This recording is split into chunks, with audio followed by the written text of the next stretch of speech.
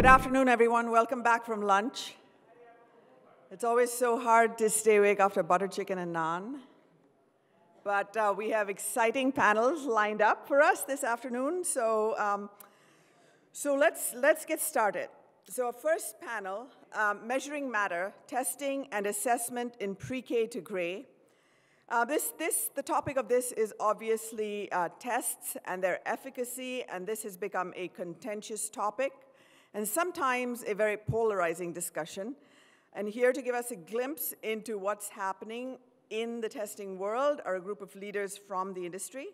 Um, so I'd like to welcome up our moderator, Ellen Desmarais, Executive Vice President, Harvard Business Publishing, Aakash Chaudhry, Managing Director of Aakash Educational Services, Anil Nagar, co-founder and CEO of Adda247, Amit Sevak, President and CEO of ETS, Jennifer Dewar, Senior Director of Strategic en Engagement, Duolingo, and Ratnesh Jha, CEO of Burlington English. Please welcome our speakers.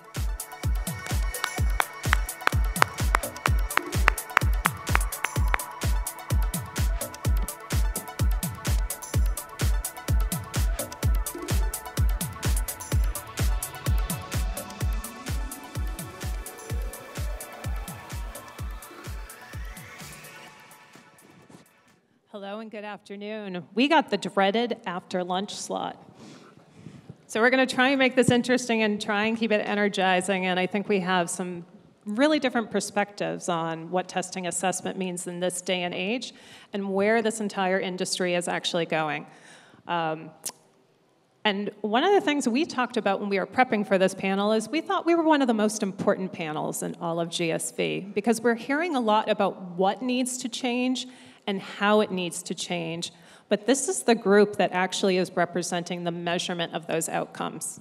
Is that change actually happening? So, one of the things we want to start with right away is I think even the name of this panel uh, testing and assessment in pre K to gray. And I want to ask some of my panelists to comment on that definition of audience. And are you really serving pre K to gray today versus what you may think this may be going in tomorrow?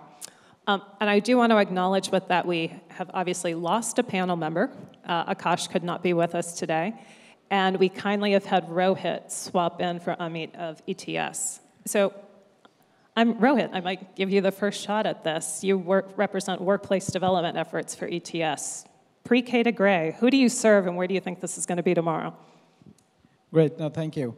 Um, so ETS uh, uh, historically has served in the K-12 and the higher ed space. Uh, we do do some work in the workforce development space, but definitely as we look at the future, not just the future of assessments within K-12 to uh, higher ed, but also looking at how do we expand beyond our core segments that we serve. And so uh, definitely, as, as you mentioned, uh, I just joined ETS four months back, and a key focus for us is the workforce uh, looking at skills, skills becoming the currency for upward mobility, for mobility between one organization and the other, and that's going to be a big focus area for us. And Anil, maybe you would like to comment on this. You brought this up on our panel, I recall. Yeah, sure. So uh, at Adda 24-7, we cater to higher ed primarily. And uh, uh, so basically, we help students uh, in terms of preparing for various exams. And these are uh, Uh, exams for various jobs or uh, admission test. And, uh, and what, what we have seen is uh, that uh, in terms of getting the job or admission in a college, specific, specific test prep preparation, it's, it's slightly different as compared to what ETS might be doing, but it's, it's very standardized and it's like masses, uh, so millions of people will appear for the test and few thousands will get through. So it's very, I will say, hyper-competitive uh, segment. But yeah, uh, I think assessment is the key there in terms of selection. So I think it's interesting with this understanding of gray, right, and then connecting that with workplace development and skill focus, right? This is kind of the connection to this ambition for lifelong learning we're all talking about and maybe we're still dreaming about. And I think that was one of the things that interested me, the point about gray, right? That's a sector that we haven't really talked as much about today. Uh, So I'm curious, maybe all of you represent kind of change agents in different ways that you're playing in the testing and assessment industry. Do you think change will happen quickly in this space, or should investors and other participants take a longer term point of view on what this means? Maybe Ratnesh, you'd like to respond. Uh, thanks. Uh, I think uh, before I answer your question, I think uh, uh, Burlington truly is the pre-K to gray. Uh, we do the early childhood to, to, to, to the K through 12 higher education employability, or we are also there on the prep side. I think the interesting dimension which we're seeing in the last couple of days of discussions is around the fact that the learning itself, uh, the knowledge itself, is something which is not the theme. Uh, I think what is really becoming theme is the competency, right? So, and, and clearly uh, uh why assessment becomes very important is that it's no more assessment of a discrete output which we are looking at. We are looking in terms of more of a choice-based uh, discussion. So I think uh, if you to notice Harry Potter, Dumbledore saying in the Chamber of Secret to Harry Potter, uh, saying that if you to look at uh, uh, making a choice, decision between a choice and uh, the knowledge, the choice is the future. I think clearly the investors community, the, the, the education, educators, and also the government lately, uh, the policymakers are actually doing a lot in terms of ensuring that assessment becomes the part of that choice making and therefore enables the ecosystem. So clearly, your answer, question to your answer is, I think it's a very important theme, and is one of the most important theme in a changing time in 21st century. And to that point about change that's happening, this also seems like we're at a moment where people are also really discussing if the paradigm of how we assess needs to start changing, right? We are all kind of products of a high stakes standardized assessment world I mean, let me actually, for the sake of the panel, show of hands from the audience, because I want to see who's awake. How many of you had to take a standardized assessment test at some point in your K 12 schooling? Okay. How many had to take a standardized high stakes test in order to get into university? Very similar numbers. And how many of you have ever had to take an assessment for a job or some sort of workplace development?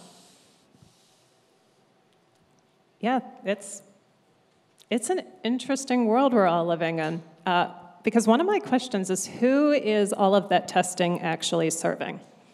And I'm really curious to hear how that, this panel thinks about it. And Jen, I may throw this to you first, because I think this is one of the questions that's underpinning this, if anything, expansion of testing and assessment. Are we doing right by the learners in this equation? Or is this for the sake of the universities, the governments, the employers? Who is benefiting from all this testing? Yeah, um, before I joined Duolingo about five years ago, I spent almost two decades in university recruitment and admissions, and so I was a user of admissions tests for many years. Um, specifically here in India, I was responsible for India, and I can say I, I, listened to Amit's keynote yesterday about having more standardized assessments throughout India. And my perspective as a former admissions officer is that it's really important to have standardized testing. In a place like India, those of you who grew up here will know, you know, there's national board exams like the ISC and the CBSE, and then there's dozens of state exams and local exams.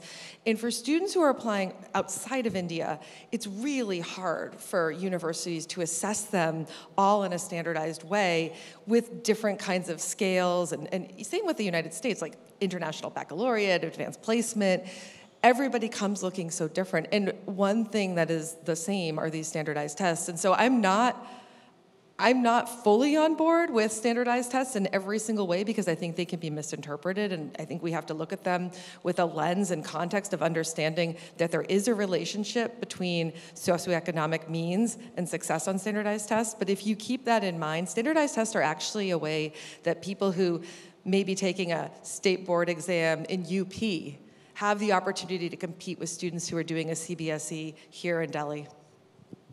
Can I add to this? Yeah, that'd be great.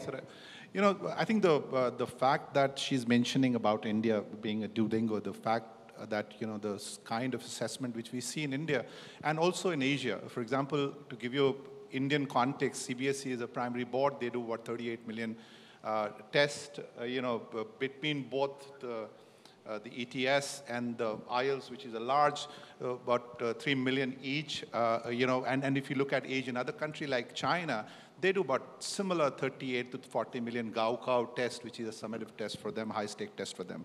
I think the important part which we see as it is emerging in Asia, this part of the world, is that how do you really balance between the quality and the equity side? And I think that's a very important theme.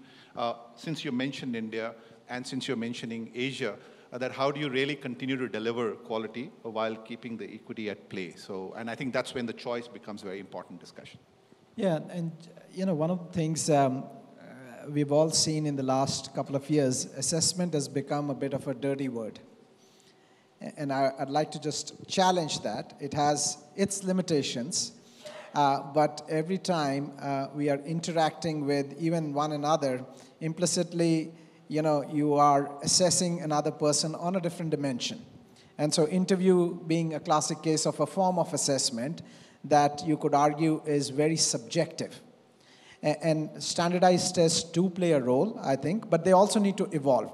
And to your question around the fact that is it going to be a long haul or, or is it going to change overnight? And obviously the answer is it depends, uh, in my view. I think some, some areas, especially as we think about the workforce where employers are the decision makers in that case, they would probably change much faster wanting to make sure they're bringing the right talent into the organization and being able to measure the, uh, the quality of that talent in an objective manner.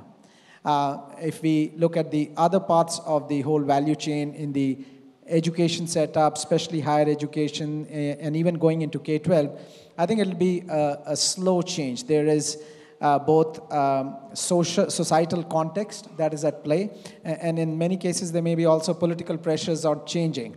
And we have to remember that you know the whole education system is built on a certain framework, so it's hard coded in so many ecosystems. Just the unit of credit, if we just think about that, um, if you challenge that, which is the notion of seat time, is seat time equal to learning? If we decide to change that, imagine the amount of change that needs to happen around the world from education, the SISs, the LMSs that are all configured around that, and in many cases, um, uh, instructors and professors who are paid according to that. So I think we need to challenge that, but also find practical solutions as alternative and not just throw, uh, throw, throw out the problem. And Anil, yeah. would you like to comment so, on this? Yeah, so when we think of India, uh, and we talk of test prep in context of India, I think is it is uh, slightly different from uh, international uh, perspective. So in India, uh, it's a country of exams. Uh, for example, we cater to a segment where government is doing hiring and they will conduct certain exam before that. That's the only criteria they will have to give a job to anybody in a, in a government setup. And uh, as of now, they conduct around 500 exams in a year. And the condition is that, uh, let's say there are 100 jobs, the applicant will be at least 100 times of that. And sometimes it goes up to 1,000 times. And the whole idea of test prep uh, and let's say testing in, in this kind of uh, setup is to provide the fairness and a level playing field to everyone. But uh, if we look at the way in which these exams are being conducted, a lot of these exams out of these 500 are still uh, pen paper exams. And even beyond that, even if their exam, some exams are online, these are also being conducted in physical uh, offli offline uh, centers where there is a computer lab kind of setup. So I, I think a lot of uh, things have to change in context of India if we really want to think uh, assessment as a way uh, for hiring or giving admission to to students in colleges and universities. And uh, I think this is the uh, next step where we want to say that these tests can be personalized or let's say there can be AI-based tests where you can probably choose the right talent. But as of now, I think we have a long way to go. I, I feel uh, uh, it will take some time for us. So you were the first to say AI on this panel. I clocked it. We're 13 minutes in. This is my new game. How fast does it take for anybody to say AI or ChatGPT in a conversation these days? But so you brought it up, so let's go there because Um, I recently read from Holon IQ that they said the two sectors of education that should actually be the most impacted by AI are language learning and testing and assessment. Holon IQ's perspective was why that would happen is because these were the sectors in which the greatest improvement in customer outcomes can be achieved by AI, by that AI, as well as a reduction in cost. Um, Jen, given you represent both of those in some respects, I'd love for you to open. Like, what is your take on what AI has an opportunity to do in this segment? Yeah, I think one of the things that Duolingo did well was we made a bet on AI and assessment early. So before COVID 19, we launched the Duolingo English test in 2016. We felt like there was an opportunity to make a more accessible, more affordable test, uh, use computer adaptive testing to make it more personalized. And we've been doing this for a long time now. Um, and it really took off during the pandemic. Um, to investors, it still takes time, even if it grows really fast overnight. Um, it's a pretty complex two sided market, as my fellow panelists have been explaining, but it's not, it's more complex, the assessment business, I think, than the language learning business in many ways because it is a dual sided market. Um, but in terms of AI, for us, it's, it's we the, the Duolingo English test was born digital, and so we've only imagined it to be a test that's powered by AI. And we think, um, and we continue to evolve as AI evolves with the test, but we think that it both uh, reinforces the validity of the test. Uh, we've been able to use AI, especially in interactional competencies, to make the test a better test for test takers and for users of tests like universities. And we've used AI to make the test more secure.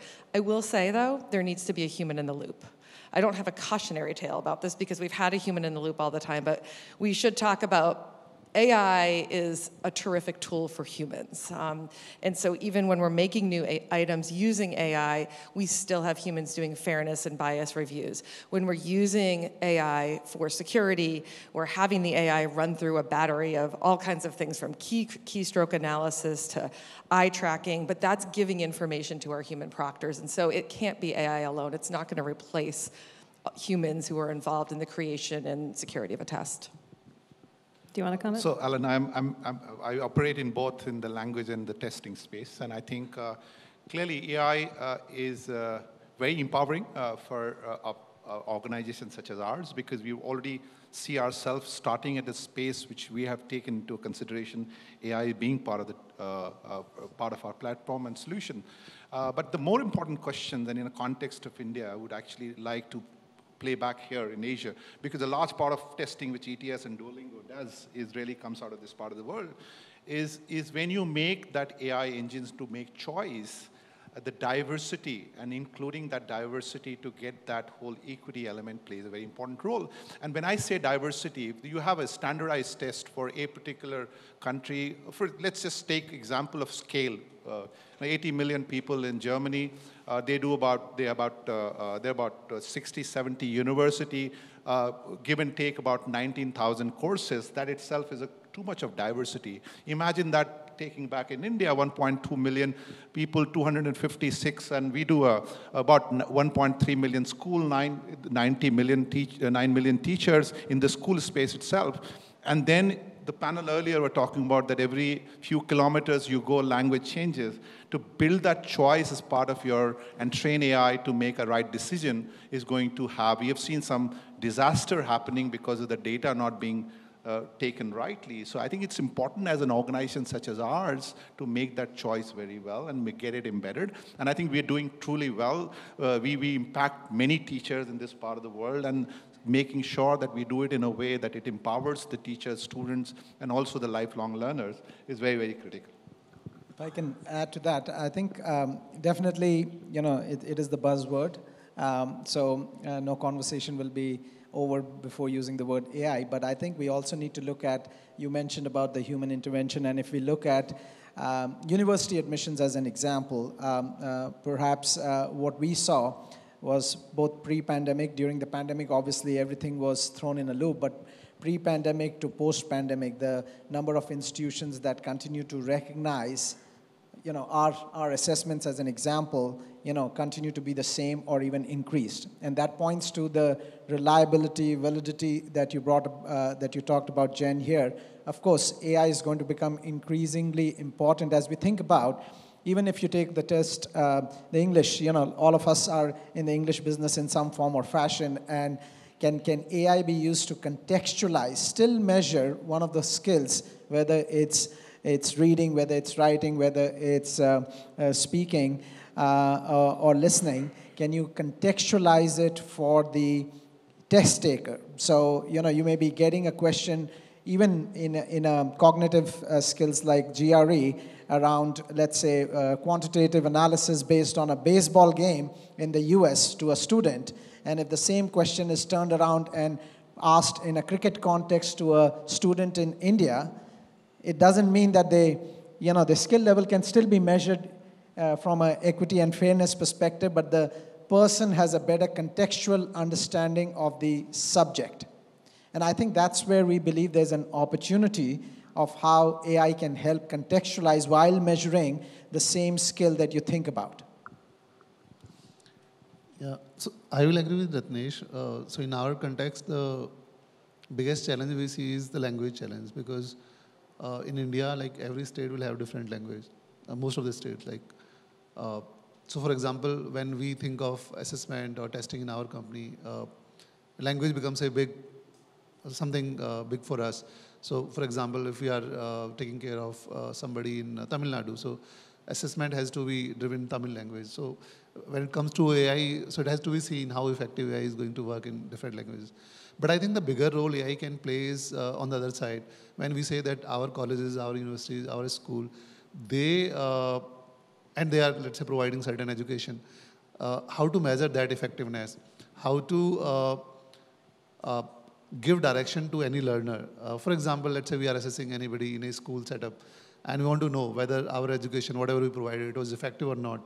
And based on this, uh, what is the direction we want to give to any child? We want to, for example, we want to tell that, okay, uh, based on whatever you are doing, your interest, where you are excelling, this is the career probably you can choose. So currently, I think this is completely missing in our ecosystem in India. Though I, I feel government is uh, trying to do uh, things at their level. So they have introduced assessment at school level at various standards.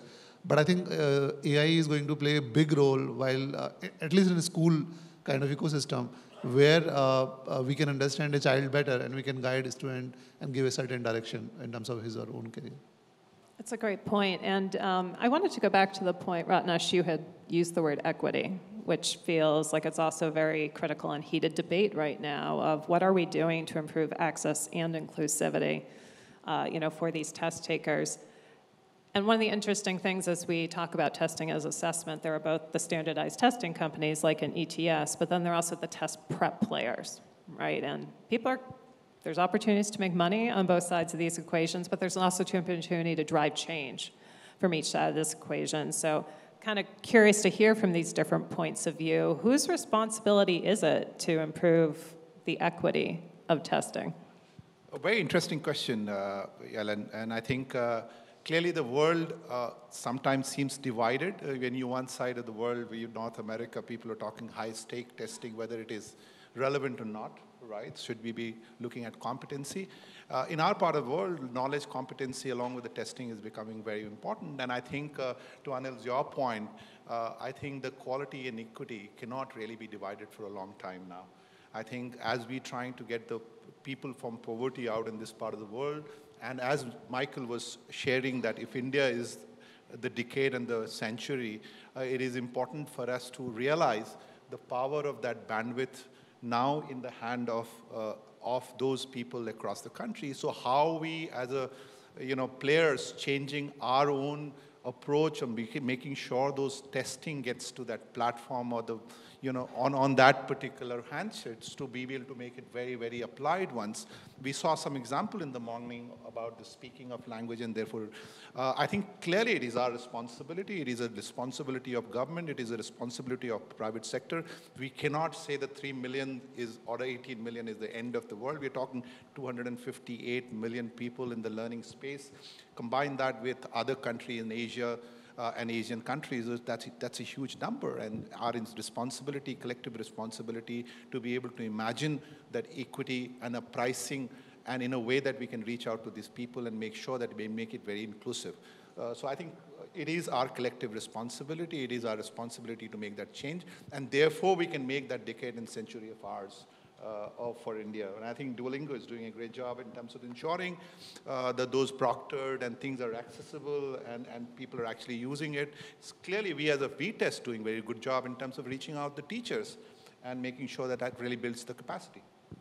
Yeah, and I'm picking up, you know, Anil, you were saying before, so many of the tests are still happening in paper and pencil, right? We're all enthused about AI, but we still have to conquer the fact that the majority of these tests taken around the world are still hard copy. And Jen, you were making kind of the point, I think, when we were having some earlier discussions about the role of mobile potentially in all of this. And I think, particularly when we talk about India as a market and the opportunity to increase access, what role does potentially just mobile as a modality have to play in this?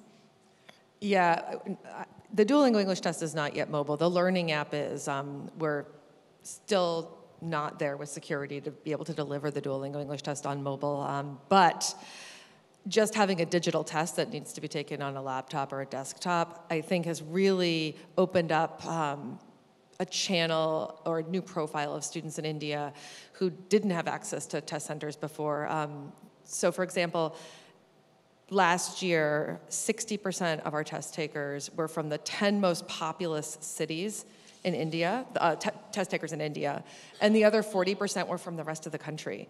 And if you look at the numbers of Indian students applying to especially graduate programs, one or two year master's programs in data science and engineering, the US Council of Graduate Schools announced that many of those programs are experiencing year over year double and triple percentage increases from India specifically. And we're seeing that. We're seeing students sharing to those kinds of programs. That's where they're sending their Duolingo English test scores. And I hypothesize that those students weren't even participating in high stakes assessments before this. Um, and so, certainly, digital testing has opened up a channel mobile testing, I think, will be even more transformative when, when we get to being able to do that. And I, I like the fact we have ETS and Duolingo sitting next to each other on this panel. that was on we purpose. had an interesting conversation. Are you are you enemies? Are you competitors? Are you frenemies? Like how this is a really interesting example too of how disruption in what has been considered very staid industry is you know, Duolingo's position on this is actually a really novel approach to disrupting an industry. So curious if the two of you want to share your thoughts on where is disruption in this industry going to come from? Uh, we, we promised we won't do arm wrestling here. Uh, but no, I think, um, look, we respect uh, Duolingo. There's some great innovation that has happened there. Uh, but at the same time, I think there is uh, if you look at the ecosystem, there's a place for different players based on the expertise and capability that they bring to the table. Uh, as I mentioned in, in, my earlier remark, I think high stakes assessments need to evolve. Um, and it's the need to evolve is coming from the fact that the world around us is changing and changing quite rapidly. And as a result, the, the unidimensional view of a test score needs to be evolving as well. If you think about we talked about AI, but also thinking about assessments rather than just a score being a bit more holistic. You know, there are multi dimensions to any personality, and whether you are in an academic setting or in a work setting, it takes more than just your cognitive skills to be successful. I can definitely measure your critical thinking uh, or, or, or, verbal reasoning, but how about you know your interpersonal uh, behaviors like your teamwork, your collaboration, uh, or affective behaviors, you know, your growth mindset. And, and that's, that's the area where I believe, you know, with our expertise that we bring to the table, decades of research, we are helping evolve this industry in the right direction so that we are presenting an individual more than in more than just a score. Um, I think that having ETS and IELTS, so the incumbents um, also moving into digital testing has been a really exciting thing to see. And at Duolingo, one of our operating principles is learners and test takers first. And I think the winners in all of this innovation that's happening right now in testing are the students, and because they have more options. And that's a great thing. And you know, we're seeing people in places in India, fourth, fifth tier cities that didn't have access to tests through TOEFL products, through Duolingo products, through IELTS Indicator, now having options to take tests that didn't before. So it's great to see students winning.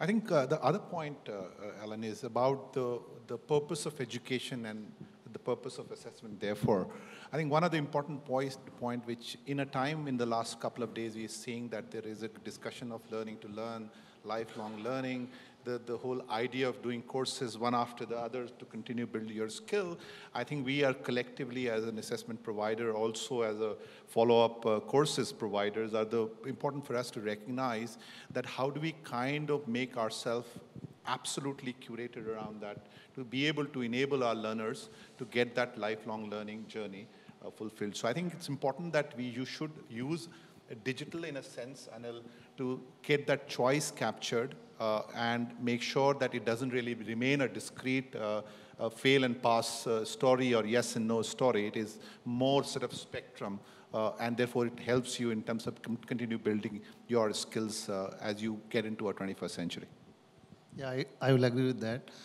so on our platform, as I said, that we get a huge number of exams, and let's say these people are applying for various jobs and then giving exams and some of them get selected, let's say, let's say 1%, and then giving another exam. Uh, one of the thing uh, which we do and which we want to focus on is uh, whether we are able to give the right guidance to our learner. And that is basically based on uh, assessment of uh, somebody's strengths and weaknesses. So as soon as somebody is on our platform and they, they are interacting with the platform and giving uh, a small, small assessment test, we, we are able to figure out that okay this, this this person will be able to do this or not. And eventually uh, uh, if because otherwise if you look at the uh, state of education and let's say we want to think of villages and towns so this is still there are a lot of gaps. Although uh, the whole ecosystem is working government is working startups are working to improve that. But uh, but in most of the cases when these guys come up to this stage where they have to give a exam to get a job so, so there is there is a gap, and we need to guide them, tell them, and train them on that.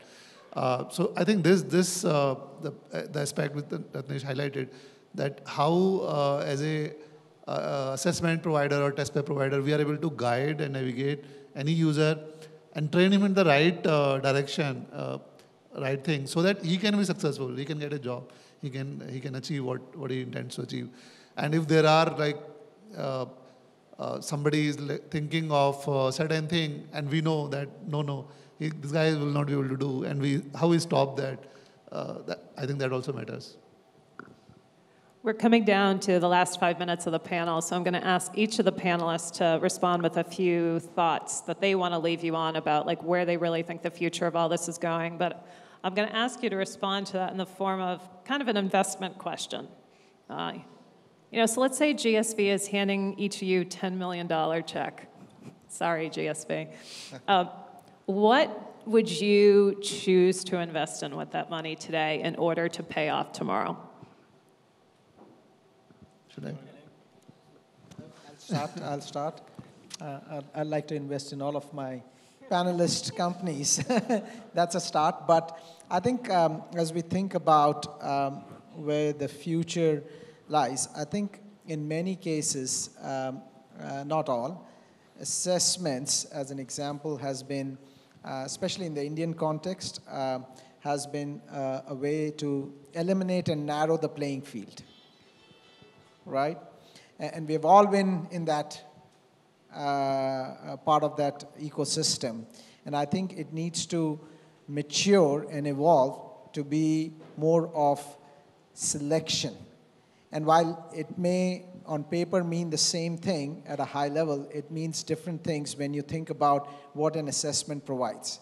When you're selecting, you're also looking at key, eh, you're, you're hopefully in a position where you're also able to give feedback. And that means investing in capabilities that can give insights into skill sets that you have that may or may not be meeting the requirements of the particular role or institution that you are applying to, but leaves you with feeling enriched from the experience that I'm walking away knowing a bit more about myself than I did coming in. And as a result, being able to apply, whether it's in a professional setting, whether it's in an academic setting, uh, to things that can help in the lifelong journey, as you mentioned, lifelong learning, continuous professional development, and as a result, helps you become a better individual. And, and what we believe is, you know, realize and uh, un- unleash the potential that is within each one of us. So those are the capabilities in which I'd like to invest. So I'll take on. Rohit, and uh, if I had to be now and here, I would invest in ETS and Duolingo make money. Uh, but if I am thinking of in terms of a longer term vision, I think I'm sure ETS and Duolingo also thinking about it, is to be able to get the context right, get the personalization right, and make a real choice-based deep assessment, which is, can, can actually empower the larger uh, 7 billion set of large part of that 7 billion, billion people uh, who would be, clearly lies in this part of the world, in Asia, and then make sure that we empower them to get their lifelong learning through that personalization very easy and simple. Anil, what do you want to invest in? Yeah. so I think the biggest gap lies uh, at a stage where uh, we are able to tell our educator or learner uh, the right direction. The other side is that how we ensure that uh, our uh, education is effective. So probably I would like to work with the government where I work on both these aspects and uh, somehow uh, we, we develop those processing systems where we are able to identify strengths and weaknesses uh, of any kid, give the right feedback, and probably give them that direction in terms of their learning and career. I think that, that will be something. Jen, your thoughts? Yeah, I think um, 10 years ago, we bet on mobile for language learning, and I think that was a good bet. Um, and I think if we're making a bet now, it's probably how AI is going to drive forward assessments. Um, and empower, as Ratnesh said, so many people in the world. Um, you know, it's, I'm sure we've all thought this in the last three years with a global health crisis and climate change and ideological radicalization that like half of the world's talent is not available to be helping solve these problems because they can't access education and then they can't access assessments to prove that they've had education. And so the way that we can we can mobilize both of those things, I think is really going to be through AI um, because it helps scale. Thank you all. I mean, none of you picked easy choices. We're investing in insights, context, and capabilities and personalization, which uh, I think shows there's a lot of room for opportunity and yet also a lot of really unique challenges ahead. So, thank you all to my esteemed panelists. Thank you all. Thank, you, so much. Yes. Thank you for those suggestions, the investing suggestions as well. Thank you.